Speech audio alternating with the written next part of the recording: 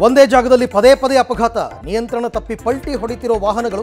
Accident zone ಆಯ್ತಾ Nagawara ring. ಸೋರುತ್ತಿದೆ Tata institute ಬಳಿಯ ಅಂಡರ್ ಪಾಸ್ ಜಾಯಿಂಟ್ ಪಾಯಿಂಟ್ನಲ್ಲಿ ಸಮಸ್ಯೆಯಿಂದಾಗಿ ಸೋರಿಕೆ. ಜೀವ ಭಯದಲ್ಲಿ ಜನರ ಸಂಚಾರ.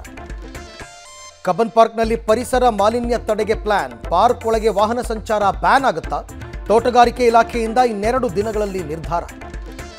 ಯೋಗೇಶ್ವರ್ಗೆ ಡ್ಯಾಮೇಜ್ ನೀಡುತ್ತಾ ಜಮೀರ್ ಮಾತು. ಫಲಿತಾಂಶದ ಬಗ್ಗೆ ಯೋಗೇಶ್ವರ್ ಫಿಫ್ಟಿ ಫಿಫ್ಟಿ ಮಾತು. ಕಾಂಗ್ರೆಸ್ ಉತ್ಸಾಹ ಕುಗ್ಗಿಸ್ತಾ ಸಿಪಿವೈ ಹೇಳಿಕೆ. ಮರಕುಂಬಿ ದಲಿತರ ಮೇಲೆ ದೌರ್ಜನ್ಯ ಪ್ರಕರಣ. ಜಾಮೀನು ಸಿಕ್ಕರೂ ಇನ್ನೂ ಜೈಲಲ್ಲೇ ಕೊಳೆಯೋ ಸ್ಥಿತಿ.